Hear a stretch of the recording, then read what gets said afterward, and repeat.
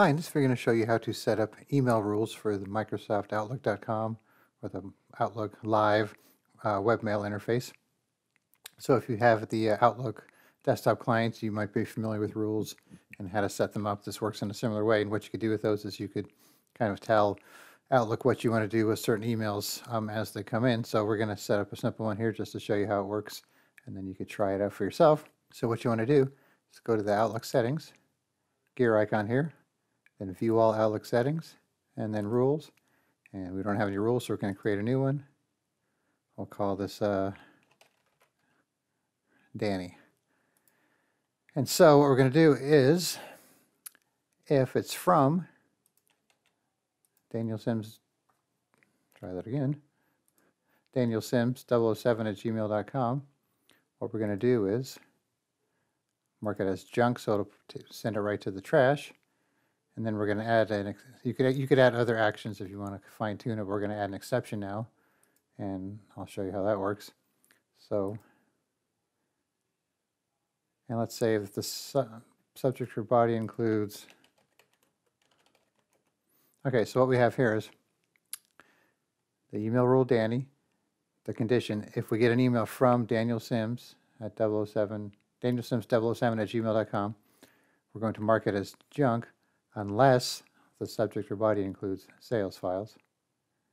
And then we'll save it. And there it is. And you could run it manually. You can move your rules around if you have multiple rules, which ones you want to run first. You could edit it by clicking on that to go back into it, or you could delete it with that. So we want to test it by going to here and do a new email to Cindy, which is our Outlook user here. So if, if Daniel just says, hi, Cindy, sends it off. Let's see what Cindy gets here. Okay, so it went right to her, her junk mail here. So there's the hi, Cindy uh, email. Okay, so let's go back and test our exception. So compose a new one. Cindy. Uh, sales files was our phrase that we're going to allow as our exception. So let's send that off. Back to our email. Yep. So now it didn't go to the trash. So we have one in our inbox here for the sales files, which is allowed, and then the Hi Cindy went to the junk mail. So once again, settings, view all Outlook settings, rules, and then you can make a new rule and, and play with it here. They tend to be a little buggy, I've noticed, especially on exceptions.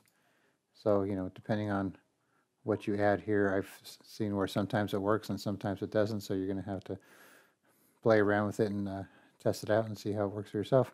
But anyways, you know, just go go ahead and make some rules and just play with all the settings here, and you'll get the hang of it. It's pretty self-explanatory once you uh, start working with them and kind of build out your rule, and then you should be good to go. All right, thanks for watching, and be sure to subscribe.